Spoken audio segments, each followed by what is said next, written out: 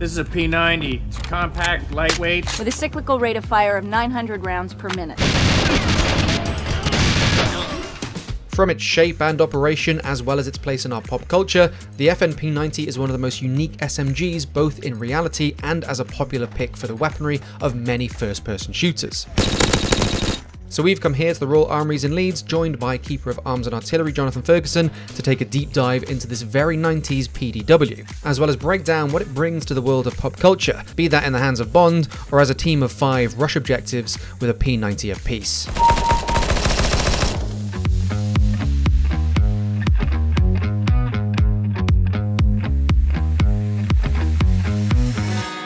So the P90 is another essential entry into a modern virtual arsenal now, I think. But can you give us a sort of brief history of it in reality? So this is another weapon that originates from a specific military requir- requirement.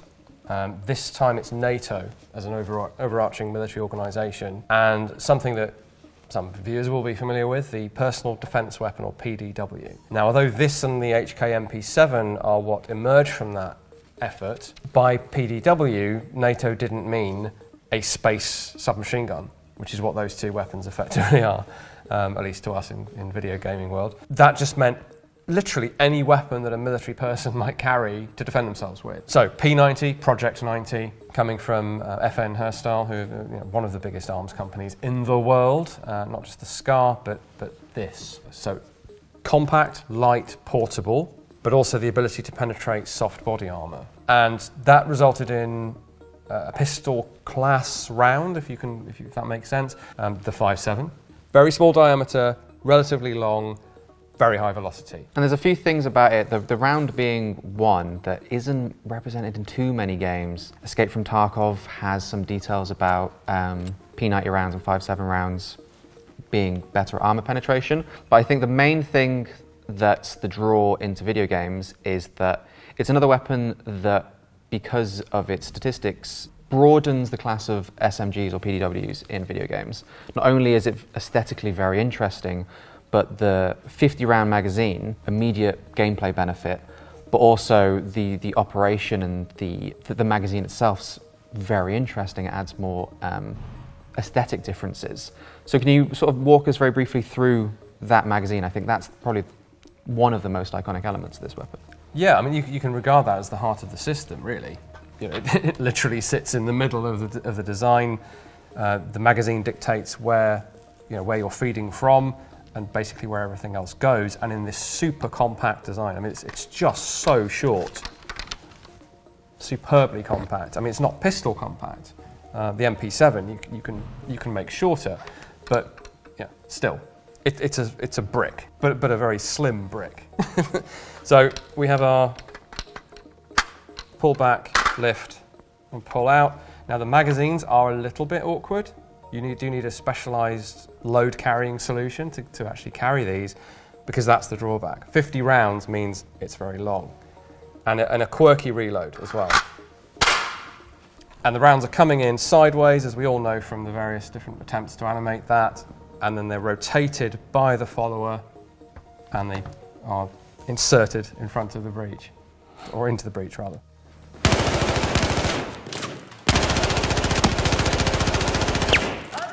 It's interesting because the, the magazine is so iconic, but games have been very limited to how they can actually animate, because that's the bit players are going to see. They're, they're seeing the weapon from this angle, but a lot of games aren't able to, especially, especially when it start, first started appearing, it was just like a brick, but even modern games now sort of hide it.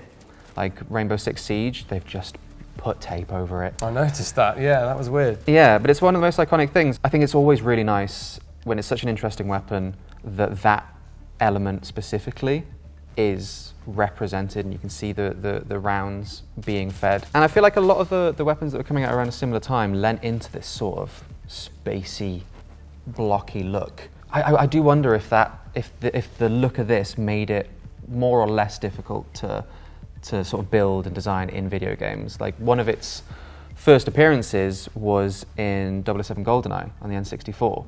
Classic. Um, absolutely. Obviously, not animating the, the magazine, and the reload is. "Ah, I'm back.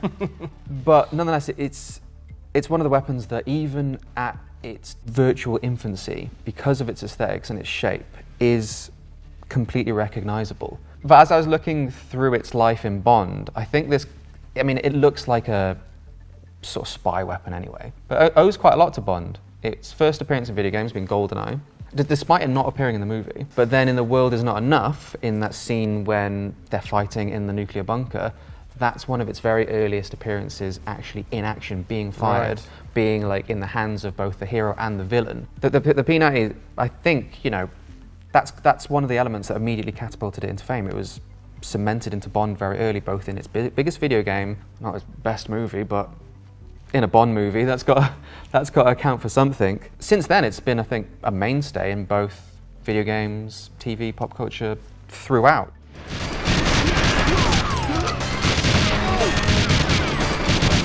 So with the with the sci-fi aesthetics, that's it, it's been sort of tweaked a lot in games.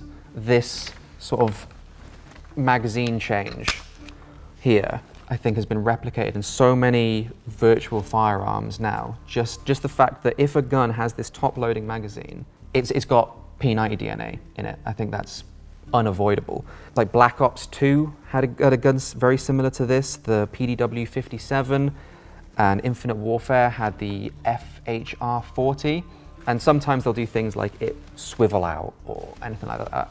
But if you're making a space gun and it's got this, it's you know it's it, it's a distant cousin to the P90, right? But in, in reality, we've not really got anything that's close to a version 2 of this or, or, or the next iteration of the P90. Doesn't really exist yet, right? No, and it, you know, having that very niche origin, uh, all, all driven around that little short, stumpy pseudo rifle style cartridge. You know, it's like a scaled down rifle cartridge. And the, the way FN went with this, being, being super compact, you know, you've got this. You can compare this grip to the FG42, first pattern FG42, where the similar idea, you want to keep it as short as possible. There are only so many places you can go with it. It's, di- it's, it's distinctive you know, it's not. It's also not super modular. You know, it, it's a bullpup already, so you, you can't really do anything with the stock. Um, the only thing you could do with the uh, ergonomics would be make it to make it more conventional. To put a pistol grip and a stock on this is a retrograde step in terms of what FN were trying to accomplish. So you're not. This isn't. This is going to remain the P90. Uh, you might see a bit more modularity up front. They, they've already, you know, you already had provision for. We've got a rail here, the tri-rail receiver. Um, there are aftermarket versions of that. They're a little bit slicker than the FN version. No one has, has managed to reinvent the P90, I don't think. I don't think, and this might be even showing my age at this point, but I don't think you can mention the P90 without talking about Stargate SG-1. Of course not. What I didn't realize, let's say first of all, it's a perfect gun for that universe. The near future, trying to tie in sci-fi and reality, it looking a bit like a space gun, suited perfectly. Even though this is, in my mind, the most very, very tied to that property. It wasn't until the fourth season, like late in the fourth season as well, that it first appeared. And it's one of the few examples where like the hero characters actually have a line about why they've swapped weapons, because it was originally the MP5 in that show. And there's a few few scenes in that in that show where they really like shine a light on the P90. This weapon is called a P90. It carries a 50 round top loading magazine of Teflon coated ordnance with a cyclical rate of fire of 900 rounds per minute.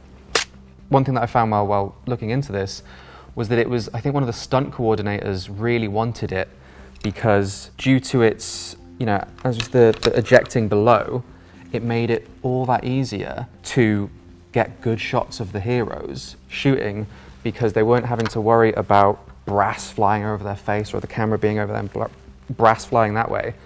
So that was one of the reasons why the P90 appeared in that show, and also because the show was banging and really popular. No, I, I absolutely loved the uh, the SG1 depiction. I, I, I remember it first time around because I'm old. It was great because the, because the MP5 was was the default special operations close quarter battle type weapon at that time still early 2000s they, they were depicted somewhat realistically in their kit. They were a small self-sufficient special operations unit going off to do their mission. So the mp5 fit nicely with a few accessories on it. And then to, to pivot to this even in universe it, it made sense.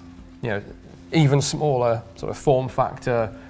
Um, the armor penetration thing, I remember the, the line about how this is going to penetrate this alien body armor these guys are wearing. You know, the, the, the pistol bullets aren't doing the job. As a, as, a, as a nerd and a gun nerd, even then, I, I, I really appreciated that. And, you know, keep something small and, com- and compact like that, but with a high, you know, high firepower without, before you have to change magazines. What could be better to break contact with um, some you know, scary aliens and get back through your Stargate than that. So it, it made a lot of sense in terms of sci fi fun, but also in terms of if this were real, what weapon would you want? I think that would be a great candidate, on paper anyway. And I think that you know elements you mentioned make it so that the P90's legacy in games is never going to go anywhere. It's not being replaced in real life. Can't see it ever being replaced in fiction. There's guns that ape its aesthetics and its use, but there's just nothing that I think can, can beat the P90, whether you're doing something sci fi or where you're rushing a site with four of your mates screaming profanities and trying to clutch out CSGO round. It, it's a niche weapon, it'll always be a niche weapon, but it's surprisingly popular. If you look up lists of users of these things, yeah, it's not a standard military weapon, it's not even a standard police weapon, but all sorts of special operations, especially security forces. Yeah, it's the most successful modern submachine gun, I would say. Um, obviously, the MP5 is probably still the most successful, but in terms of the next generation of submachine gun. I was going to say the only thing to consider is, despite its video game depiction, this is probably one of the most difficult weapons to dual wield, but that's something we'll cover in the Akimbo episode.